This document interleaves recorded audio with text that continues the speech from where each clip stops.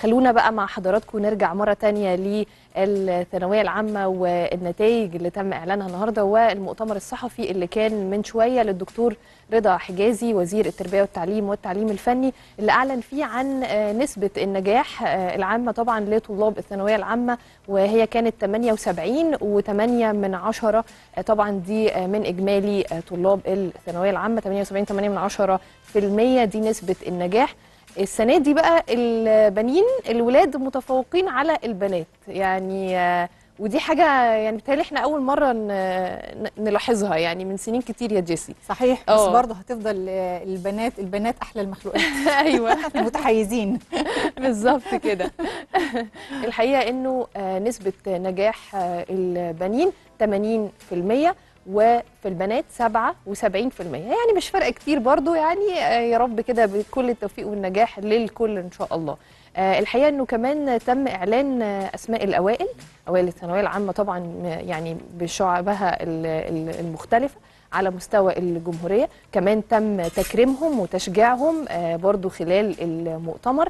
الحقيقة إن كمان الدكتور رضا حجازي أوضح إن باب التظلمات هيتم فتحه بعد 48 ساعة من إعلان النتيجة يعني إن شاء الله يوم الخميس الجاي والتظلمات هتكون ورقيا وهيتم تقديمها في الأماكن والمقرات اللي وزارة التربية والتعليم هتعلن عنها الخاصة طبعا بالمديريات اللي هتكون قريبة من الطلبة على حسب برضو محافظاتهم. الطالب ليه حق إن هو يطلع على صورة من كراسة الإجابة الخاصة بيه. وطبعا ده في المادة اللي تم التظلم فيها ورسوم التظلم للمادة 200 جنيه.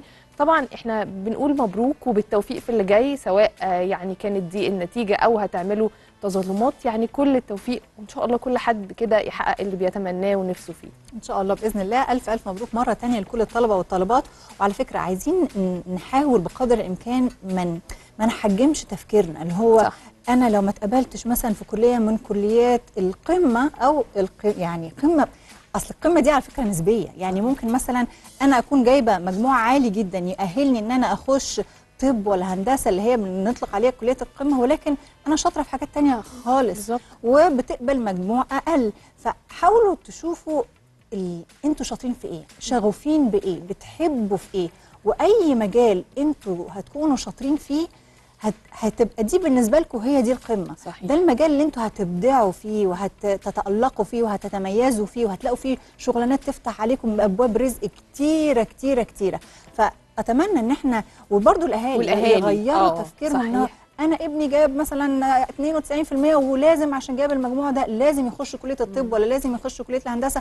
لأ هو لازم يخش حاجة هو حاببها حاجة هو شاطر فيها حاجة هو شايف نفسه فيها مش بس كمان سنة ولا سنتين ولا خمس سنين لأ كمان عشر سنين لأن سوق العمل بيتغير بالظبط. بتغيير غير معقول ولازم الشباب يكونوا مواكبين ومتواكبين مع كل هذه التغيرات. وحتى لو مجاميع أقل يا جيسي آه برضو. يا رضوى يعني عايزين الأهالي تبقى قادرة إنها تتقبل ده وقادرة إنها تتقبل فكرة إنه في مجالات كتيرة دلوقتي آه، مش شرط خالص الكليات اللي إحنا بنطلق عليها كليات قمه وياما ناس جايبين مجاميع قليلة وقدروا يتفوقوا في مجالات بعد كده درسوها وبعد كده كمان عملوا كمان يا رضوى ناس دخلوا كليات القمة وما نجحوش لا ونجحوا كل حاجة لكن آه. ما كانش ده شغفهم ما كانش ده املهم بالظبط. في الحياة ونلاقيهم بعديها بفترة عملوا غيروا، عملوا غيروا. آه. يعني تماما 180 درجة صحيح في بوصلة حياتهم مهم. فالمهم إن إحنا نعمل حاجة إحنا بنحبها وبإذن الله ربنا يوفقكم في كل خطواتكم إن شاء الله. يا رب. حاجة من الحاجات اللي كانت ظريفة ويمكن جديدة يا رضوى في المؤتمر الصحفي اللي إحنا كنا شفناه آه، من شوية إن إحنا. شفنا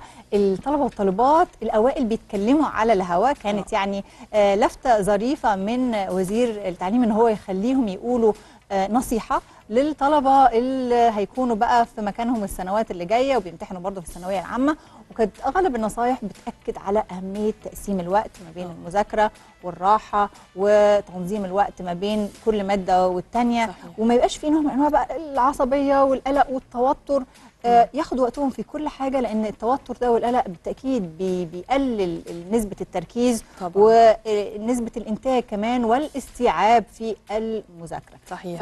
فمرة تانية رضوى أنا بنقول لكم ألف ألف مبروك ألف لكل مبروك. الطلبة والطالبات. والأهالي اللي ويعني- تعبت أكيد طول السنة اللي فاتت برضه. بالظبط كده. تعالوا نشوف كده معالي وزير التربية والتعليم الدكتور رضا حجازي قال إيه في هذا المؤتمر الصحفي ونرجع مرة تانية ن- نبدأ يومنا مع حضراتكم.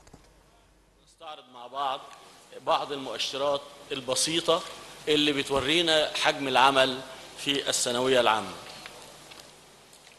اتقدم للامتحان 763 200 ألف 206 حاضر 759 676 عدد الناجحين آه، 598 723 عدد الطلاب اللي لهم دور ثاني السنة دي 118 609 آه، 605